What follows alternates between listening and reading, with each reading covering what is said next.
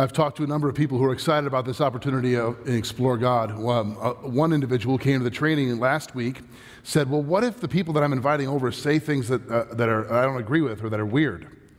I thought, "Whoa, no," you know. I said, "Well, they already believe those things. Why not invite them in your home where you can talk and be open and listen, and may, perhaps they would discover the God who can answer their questions better than any of us can."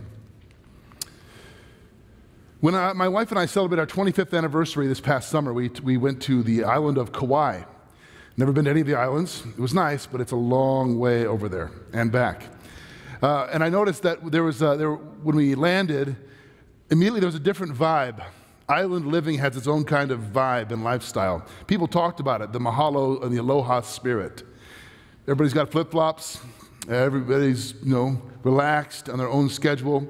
Uh, I kind of like that. Took me a few days to settle in and enjoy it. My wife and I laugh that when we go on vacation, it takes me three days to unwind, and by the third day, she wants to go home, no matter where we are. So we were worried that we wouldn't line up, but we, we were in sync. We had a blast. But there was a sign in our little uh, place that we rented that said, uh, Enjoy the island lifestyle.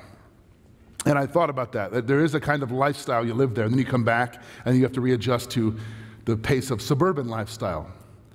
And I, and I, you know, there's people live different kinds of lifestyles. People are trying to live different kinds of lifestyles. It's not hard to see them. I thought about a few of them to put up here. I have some friends that used to attend our church. They moved to the city, young couple, because they love the city lifestyle, urban living. They, they like the energy and the lights and the nightlife, and they like walking to places, and they like the city. So, and you know people that perhaps that used to be you, and they'll get older and a little tired, and they want to move out to the suburbs and settle down but people want to live a city lifestyle. There's, there's also what, uh, when we uh, went on uh, about four years ago with my folks on to celebrate their 50th anniversary, my mom and dad rented a lake house in Georgia, and we all went to help them celebrate 50 years of marriage.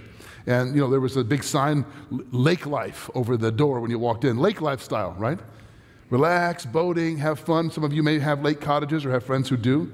They want to live that lifestyle. And then uh, Pastor Bruce is very much a part of this lifestyle, the running lifestyle.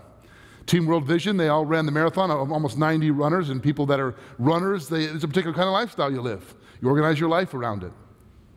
Or the beach lifestyle. This is what my wife would prefer to live all the time, but alas, we live in Illinois.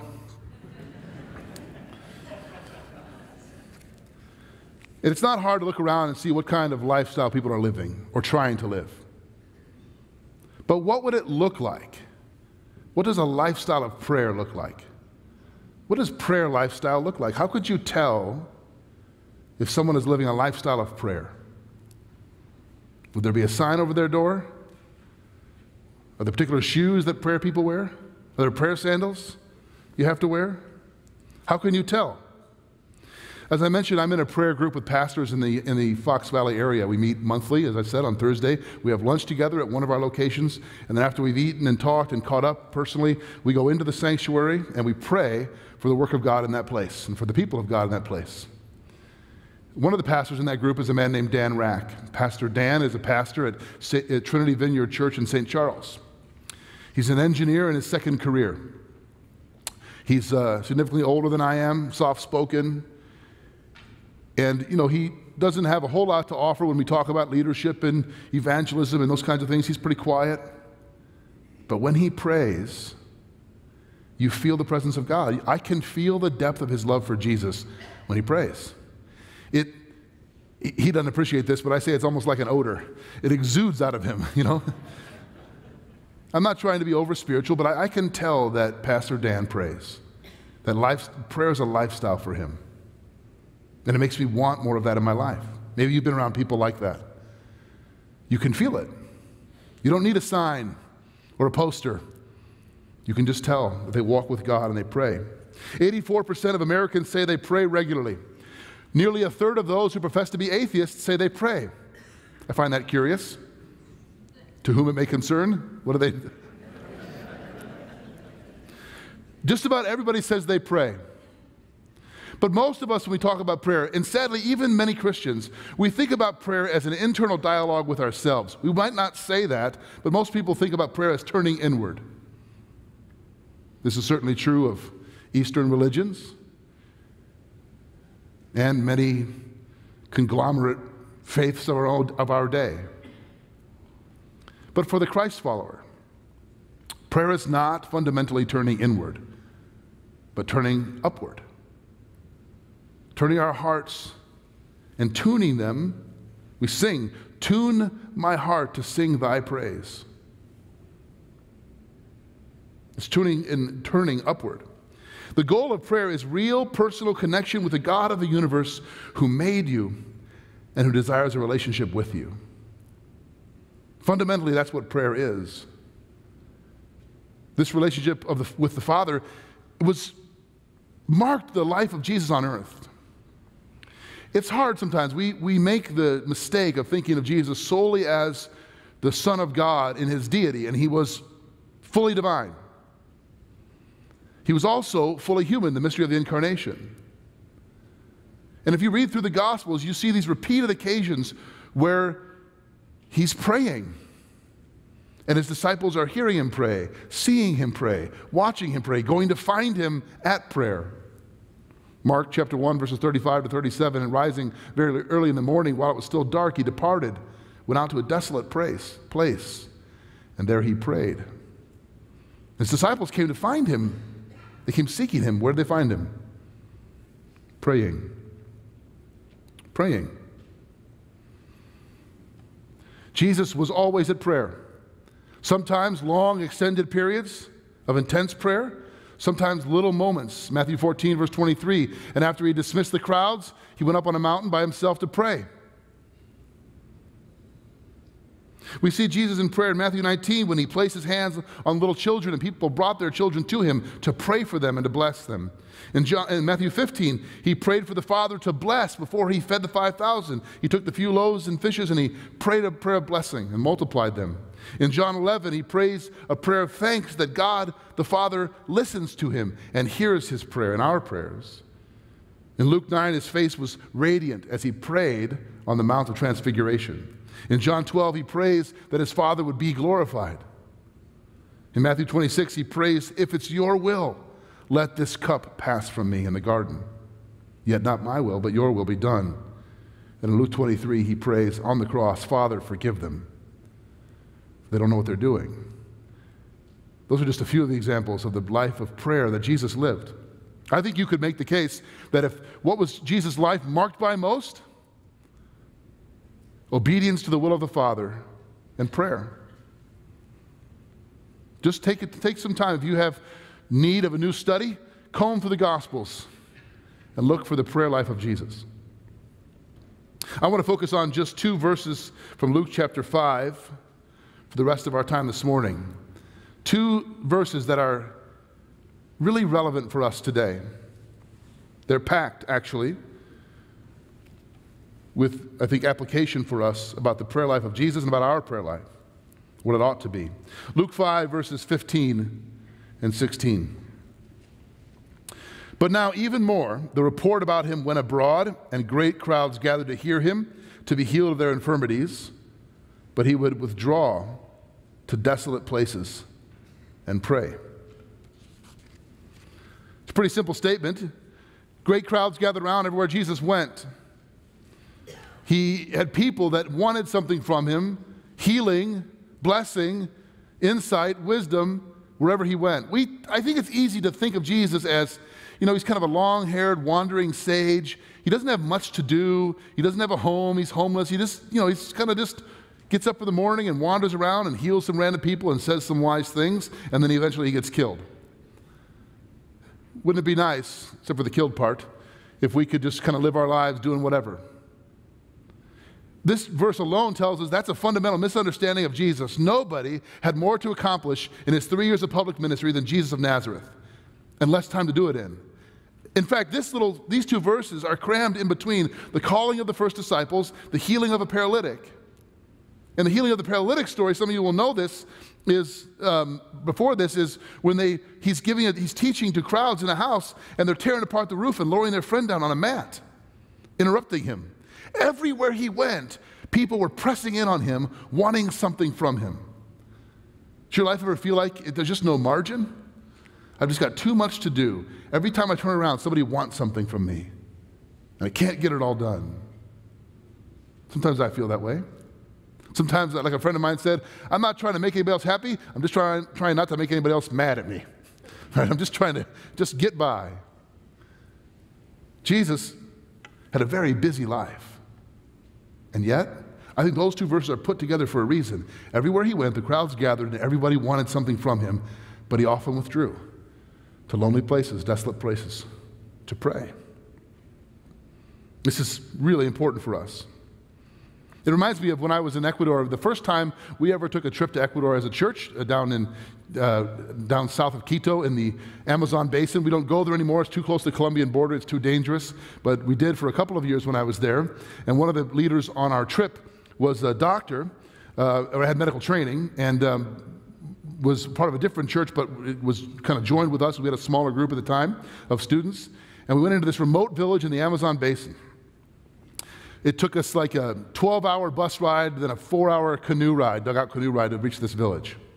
We got there, it was like the Discovery Channel. I'm thinking, what are we doing here? I'm responsible for these students, and we are in the middle of nowhere. But Rick Borman, who was our guide, was with us. And when the villagers in that, when that, in that village found out there was a doctor with us, th- there was a buzz. You could feel it. And they told other villagers, and we were there for four days. People walked for two days to get, or canoed, to get to that village and waited in line for hours and hours and hours. It might be the only chance they would have ch- to, to see a real doctor. Just waiting, and he was so patient with them. We see Jesus here, wherever he goes, people are flocking to him, hearing about him, and yet he prayed. Now, if Jesus needed consistent times of prayer with his Father in order to live the life the Father had laid out for him, how crazy of us to think that we don't. I mean, if you're a Christ follower this morning, if you're here and you have wrestled with the identity of Jesus in the scriptures, and you've said, He is the living God made flesh, He did die for my sins, He did rise again to give me the hope of eternity, and the Spirit does come into my life, if that's true about you, I don't mean you have it all figured out. I mean you have settled that issue and you have surrendered your life to Him. Then the Father says He invites you into a kind of life, a life of obedience to Him, a life of blessing and joy, but obedience to Him. How are you going to live that life if you're not serious about prayer? When Jesus himself, who also was called by the Father to live a life of obedience, needed times of prayer with his Father. I don't mean prayer a couple of times a week when you're with other Christians, you know, the formal kind of prayer, or prayer at meal times. My uncle, who's not much for praying, my aunt made him pray one time, and I still remember that I was like 10 years old. We are at his house, and she said, Would you pray? And he never wanted to pray. And so he did, and he, here's his prayer Good food, good meat, good God, let's eat. That's what he said. We all look like, Is it, is it okay to eat? Are we going to get indigestion now after that prayer? Does that count? Some of us think of prayer as like obligatory things we do.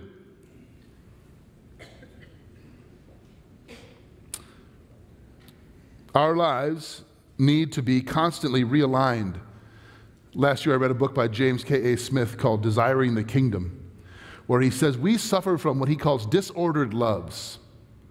We have, our hearts are misaligned. We put the wrong loves in the top places in our hearts love of family and love of children and love of work. Those are all good things, but we put them over love of God love of nation, love of political party, all these things. We were disordered in our loves. And one of the primary things following Jesus means is he reorders our hearts, reorders our loves to get them right. It's what Jesus meant when he said, Seek ye first the kingdom of God and his righteousness, and all these things will be added to you. Get first things first. I think part of what happens in prayer, not just at mealtime or in church time, but when you withdraw to seek your Father, is He reorders your heart. He realigns your loves. He sorts that stuff out. It doesn't happen quickly, it doesn't happen once, it happens over and over and over again. In his book, Letters to Malcolm, chiefly on prayer, C.S. Lewis wrote these letters, similar to Screwtape letters. These are imaginary letters, but this is actually Lewis writing to an imaginary friend named Malcolm. Some of his friends thought that this was letters to Malcolm Muggeridge, but it was an invent, invented man, where you're reading one side of a conversation via letter about prayer. He writes, We may ignore, but we can nowhere evade the presence of God. The world is crowded with him. He walks everywhere incognito. The real labor is to remember and to attend. In fact, to come awake, still more, to remain awake to his presence. I think that's what prayer is, at least for me. Prayer is staying awake to his presence. Because we can sleepwalk through life. Did you know that spiritually? And you can think you're living the real life when you're actually not. Lewis said the essence of prayer is this reawakened awareness to the reality of God in all of life. It was in the anthem. I was struck by it as we sung it. Everywhere that man may be, our God are present, you're present there. This is what David writes in the Psalms, right? Where can I go from your presence? Where can I flee? If I go to the heights, you're there. If I go to the depths, you're there. If I go to the far side of the sea, you're there. I the far side of the, settle on the far side of the dawn, you're there. Even the night is as day to you. I can't escape. Now, if you don't know the love of God and the grace of God, that's a terrifying thought. You can't get away from Him. He sees everything you do, knows everything you think before you think it. But if you know His love for you in Christ, that's an incredibly comforting thought. The one person in the universe you cannot fool and cannot deceive and cannot put on a good face to is God. And He loves you. So pray. Why would you avoid Him? spend all this energy avoiding each other or putting on faces toward each other, but God knows you and loves you. And I think what prayer is, at least in my life, I pr- presume in yours, is coming awake to this reality, reawakening, staying alert, paying attention. It's easy, I think, for us to think that prayer is taking a break from real life. I've got pressures and obligations with my job and my family and my business, and then, okay, yes, yeah, yes, I should pray. In fact, some of you probably, when you hear prayer, you feel guilty, right? I don't pray, I'm not a good prayer. It's good that I'm in church because I don't pray enough, I'm going to pray more. That's not what this is. We think, if you think of prayer as like taking a break from real life to talk to God, you've got that backwards. Prayer is tuning in to real life. In prayer, God reminds you who is ultimate reality and what's really real. If you read the Chronicles of Narnia, which if you haven't, get on the program. in, in the book, The Silver Chair, uh, there's this great part. Prince Rilian is the son of King Caspian of Narnia, and he's been imprisoned underground for 10 years by this, this wicked queen. And the, the spell over him is that during the day, and then underground, Narnia is above. He doesn't know this. During the day, he forgets entirely who he is. He thinks this underground life is normal and that he's going to lead this underground army up to conquer someday. But he doesn't really know what's up there. He's confused about his identity. He's under her spell. But at, at midnight, for a few hours at night, he remembers, he awakens to who he truly is. And so she, he has to be bound to the silver chair, which keeps him in place until the morning comes and he forgets again. But he's been told the reverse by the wicked witch. He's been told that this is who you truly are in the daytime, but at night you're under a spell and you go stark raving mad at night. So we have to bind you to this chair so you won't do any damage to you or to anybody else. And then you'll recover in the morning and you'll become your true self again. He has it flipped, right? You understand? And so what happens to him is this, these it's beautiful. Aslan sends these the Narnian characters and they free him from this, and he just smashes the chair with the sword. The Bible's called the sword of the Spirit, right? What is Lewis saying to us? Think about the up there is the real life, down here is the fake life. In the daytime, you think you're living the real life, but you're actually under a spell. It's profound. You see, we tend to think that this life that I'm chasing, these things that I'm pursuing, these things that stress me out, these things that I get all pent up and worried about, this is real life. And prayer, whatever that is, is spiritual. I ought to do it. I don't know for sure what it does, but I should get with it. And it's the reverse.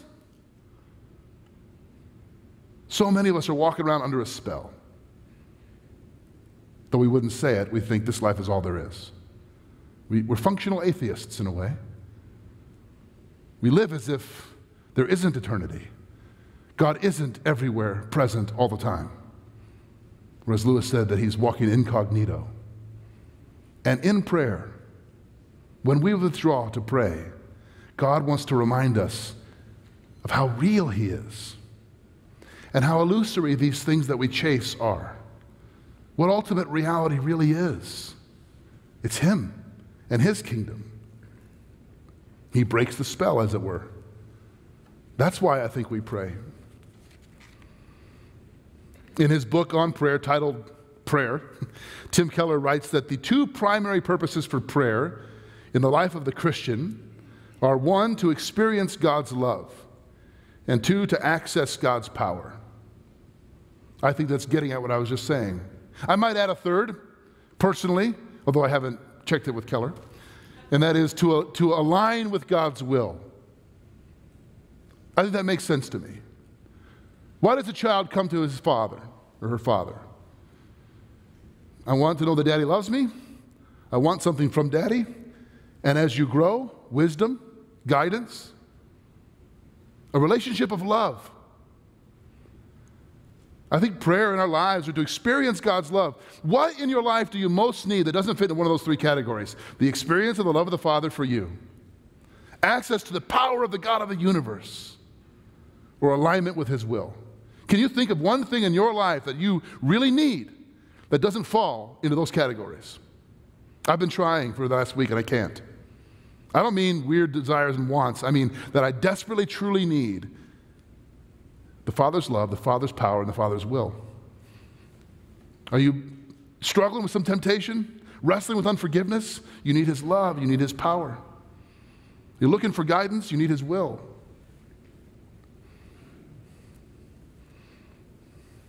And we're going to see these three purposes develop more uh, fully when we, in the next two weeks as we look into the Lord's Prayer next week and the week after before we begin the Advent series. But there's something else about prayer that I've been pondering and thinking about. And that is that well, Eugene Peterson, who, who uh, passed away recently, some of you might know this. Eugene Peterson wrote the Message Bible. Uh, it's not a translation, it's his own paraphrase. He wrote it for his people, translating, beginning with Galatians and the Psalms, the Word of God for the people he was pastoring, and it became a really popular uh, paraphrase of the Bible. It's helpful to read alongside of a more accurate translation. I read it frequently. He also wrote a book that was a bestseller, A Long Obedience in the Same Direction. And I just recently finished reading his memoir called The Pastor. It's profound. Very different vision of the pastor as shepherd, as caregiver, than as CEO. Anyway, he's written a number of other books that I uh, really appreciate, but in, one, in many of his books, he refers to prayer as the divine conversation. It's always going on. And in prayer, we join it. What I mean is, this is prayer is not just talking, it's also listening. Prayer is not uh, first speaking, it's being spoken to. I struggle with this. I'm a talker by nature. I get paid to talk. Well, I spend my life talking to people, talking about God. These are good things. But when I come to pray, I've got my list. I want to start talking to God. And that's not wrong. He wants to hear me. I'm learning again and again and again that fundamentally, first and foremost, prayer is not speaking, it's being spoken to, it's being addressed by God.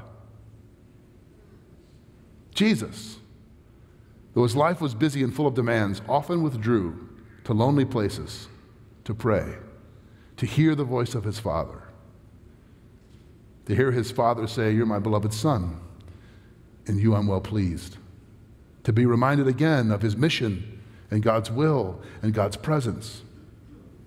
In his humanity, he needed that as you and I do. All of our speech, Lewis says, is answering speech. You, as a little baby, were spoken to before you ever spoke a word. Moms and dads, grandmas and grandpas, you know that. I saw on Facebook that Doug and Lori Walton have a new baby, grandbaby.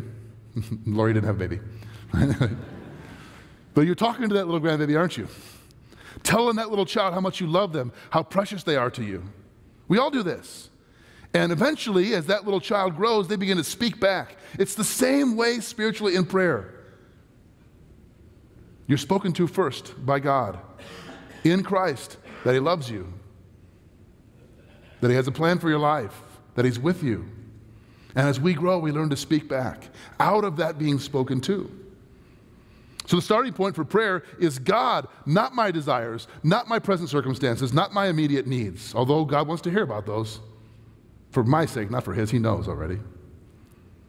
So when we read that Jesus often withdrew to lonely places to pray, I think that's what he's doing hearing from and responding to his Father.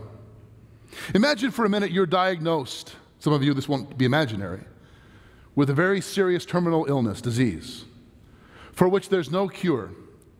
However, well, this is a, a little aside. This is not related, but it's funny, and I'll tell you. My son's uh, football team, one of the fathers spoke at a team chapel a few weeks ago, and he said when he met his wife, he's a big uh, African American pastor down south, and he's a great guy, but he's got a different style about him. He says, When I met my wife, I found out she was diagnosed with 4S disease. She's saved, sanctified, smart, and sexy. and he said, The best part is there's no cure. I threatened to tell, I'm to, I my wife, Erin, I'm going to tell that in church, but she, she threatens me back, and so I haven't. Until now. Anyway, back to the analogy. Imagine, imagine you're diagnosed with a terminal illness for which there's no cure, but you can stay alive and healthy by doing two things taking a specific medication every morning, first thing, and every night before you go to bed. Every morning, every night, that'll keep you alive. If you failed any one of those in a day, you'll die within six hours. I know I'm making this up, there's no such disease, but imagine it. Would you, would you, would you forget would you leave that to your own memory? Would you say, oh, I'll remember? no, you'd set every alarm you have and call all your friends to remind you. Like it's your life or death, right? I mean, you, you would be serious about that. You put reminders all over your house somewhere so you would never forget, because if you don't have this, you're going to die. There's no way you're going to live unless every morning and every night you take that medication. What if, you see where this is going, what if we viewed prayer that way? It's really a matter of life and death. And I'm speaking to myself as much as you. What if we really believed this is not just religious duty or obligation or ritual? What if deep in my heart I began to believe that there's just no way I'm going to live this life without it? There's just no possible way I'm going to survive spiritually without prayer. That I need more interaction with the Father. I long to hear Him speak to me more than I'm listening now. I have things I can't tell anybody, but I can tell him. And I need his guidance, I need his wisdom.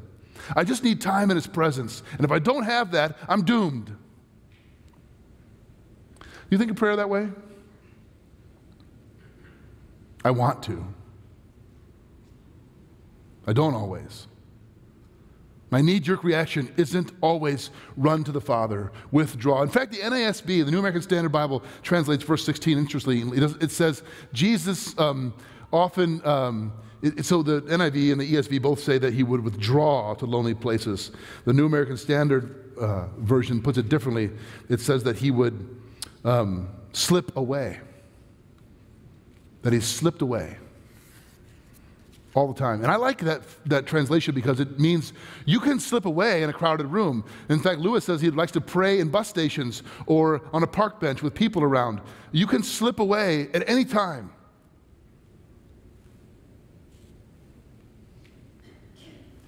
And hear the voice of your Father. What if you saw prayer as life and death that you needed every day? Apparently, Jesus saw it this way. He said in the garden, My soul is overwhelmed to the point of death. You remember that in, in, in Matthew's uh, account of the Garden of Gethsemane? That's what he says. And in Luke, we read that he sweat drops of, like drops of blood. Do you know this part of his prayer? Do you know what happens in Luke 22? It's amazing to me. I never, I've not really, it's, it, it's something easily missed. It says that Jesus prayed fervently, and an angel came and attended him and strengthened him. Wouldn't you think that, okay, that's because he's praying about the cross, and the angel comes and strengthens him, that now he's ready to go to the cross. He's been strengthened by a divine angel. But what you know what the next verse is? So that he prayed even more fervently, and his sweat was like drops of blood. He was strengthened to stay in prayer. That's instructive to me. He wasn't strengthened to get off his knees and get out of it. He was strengthened to stay there, keep wrestling with God, keep seeking God. Remember that? It's life and death. There's no way I'm going to live this life of obedience to the Father without it. Okay, so in the few moments we have, what do we do? What do we do? Well, I think we follow the example of Jesus. That's a good idea, don't you think? Let's follow the example of our Lord, who often withdrew, who slipped away to pray. And I want to give you a direct challenge this week. Now, I know some of you have rich and robust prayer lives. I want to encourage you and affirm that. But I'm guessing many of you could use a little growth in this area. Many of you feel like, how many of you would say, by show of hands, don't need it, I'm fine, I'm dialed in, I got all the prayer I need? That's what I thought. Who's going to say yes to that? It's a trick question when the pastor asks you that. So this week, I want to encourage you to do a couple of things. Number one, slip away in between meetings at work, as you drive in your car between appointments or to pick somebody up or drop somebody off, in between classes if you're taking classes, between conversations, slip away frequently and speak to God and hear Him speak to you. And then the second thing is this remember that little analogy every morning, and every night, got to take the medication? This week, begin and end every day in prayer. Maybe this is already a habit for you. It is for me. I call it the discipline of, I don't call it that, but it's called the discipline of first thoughts and last thoughts. Martin Luther wrote morning and evening prayers. You can look these up on, on Google and, and print those out if you want. Just a simple way. When you get up in the morning, don't turn on your cell phone, don't turn on the news before you get in the shower, before you brush your teeth, before you do anything. Go to the bathroom, that's fine, right? But after that, the first thing you should do is turn your heart to God. Just simply and humbly, even if it's for a, few, a couple of minutes or 45 seconds, just turn your heart to God. Thank Him for the day. Ask Him to make you aware of His presence throughout the day. And then at night, last thing you do before you go to bed, this week, take a little inventory with God. Confess if you need to. Thank Him for watching over you. Ask Him to guide you through the night. Just this week alone, let's start our day and end our day with God, and let's slip away throughout our day to be with Him. There's just no way, friends, we're going to become the kind of men and women or live the kind of life He wants us to live without it. That's a lifestyle of prayer. Lifestyle of prayer is not spiritual hocus pocus, it's not for the spiritual elite. It's simply those who know and recognize I've got nothing if I don't have God, and I want to be with Him. And here's the great news He so wants to be with you. He wants to be with you. He wants to realign your heart, reorder your loves, and speak His truth into your life. Let's pray.